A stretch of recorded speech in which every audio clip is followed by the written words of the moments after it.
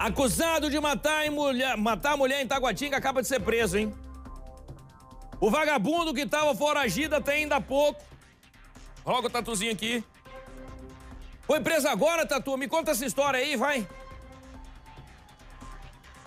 Pois é, Fred, eu confirmei há poucos instantes o nosso querido produtor Pedro Canguçu mandou essa mensagem no grupo. Eu fiz questão, Fred, ligar para o doutor Mauro Aguiar, que gentilmente, assim que a gente liga para ele, ele atende o telefonema nosso, de nós jornalistas aqui de Brasília, e ele confirmou, Fred, Mauro Aguiar, delegado-chefe da 17ª Delegacia ali de Taguatinga Norte, confirmou, está preso Guilherme Nascimento, 28 anos, ele que é o principal suspeito de tirar a vida da Letícia Barbosa, de 25 anos, crime que aconteceu às 4 horas da madrugada ali em Taguatinga. O delegado diz, Fred, que desde as quatro horas, quando soube desse caso, desse crime, ele e os agentes ali da 17 sétima estão nas ruas procurando, averiguando, investigando para chegar até a prisão dele. E agora, Fred, aconteceu a prisão dele neste momento. Olha só, o delegado diz: prisão em flagrante num hotel da cidade de Ceilândia, maior cidade do DF. E agora, neste momento, ele está sendo encaminhado aí para a 17 para prestar depoimento para a Polícia Civil. E que, inclusive, Fred, a partir das 5 horas da tarde, o delegado deve falar com toda a imprensa de Brasília sobre a prisão do Guilherme Nascimento. Fred. Cara, isso é uma resposta rápida aqui da Polícia de Brasília. Eu gosto de ver isso. Sabe, vai voltar a vida das duas meninas? Não, não vai voltar, mas a resposta que a população quer numa situação dessa é vagabundo preso. Só que a raiva que dá é o seguinte: nós vimos a polícia fazer a parte dela. Mas não é a polícia que pode deixar eles na cadeia. Não é a polícia, é um juiz, é uma lei.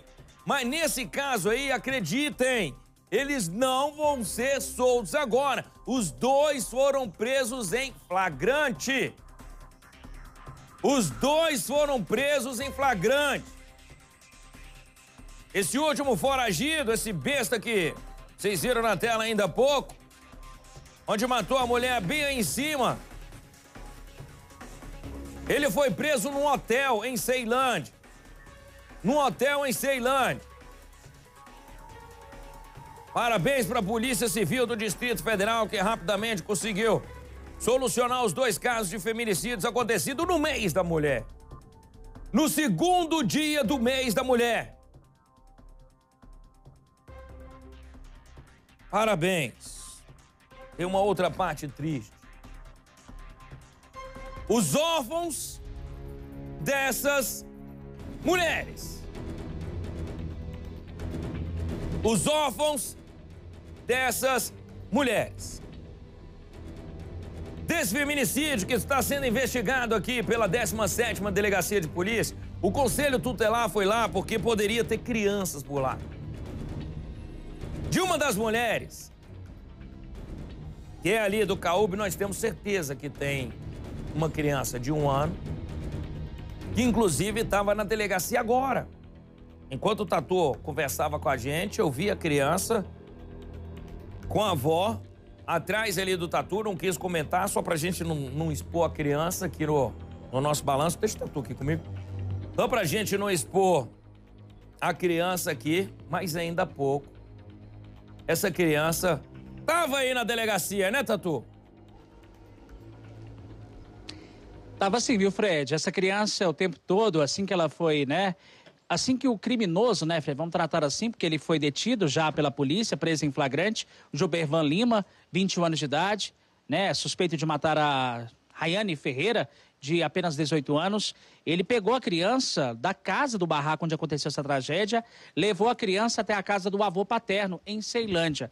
E foi justamente lá em Ceilândia, Fred, que uma ação conjunta da 29ª DP com os policiais da 23ª DP, esses PCs chegaram até o Jubervan de 21 anos. Foi preso em flagrante, foi trazido aqui para a 29ª. Ele ainda se encontra, Fred, aqui na delegacia do Riacho Fundo 1, conversando, prestando depoimento para a Polícia Civil, Fred. Então, portanto, essa criança estava aqui há poucos instantes, porque agora, Fred, há um detalhe.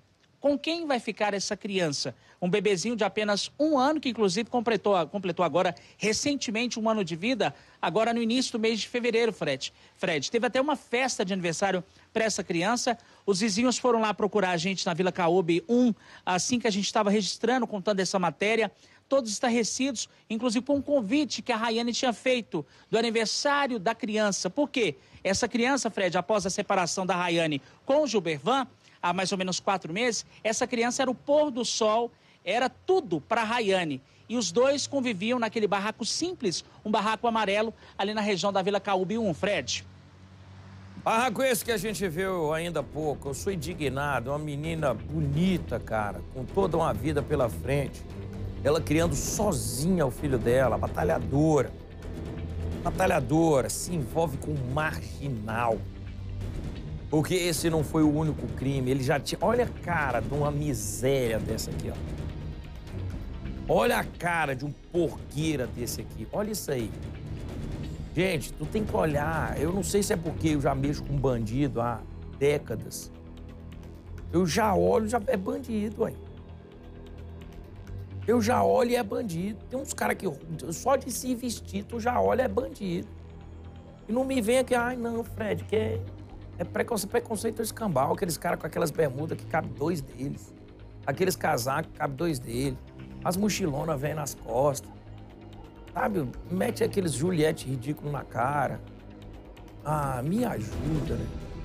Felizmente órfãos ficam por conta de pais bandidos como esse aí.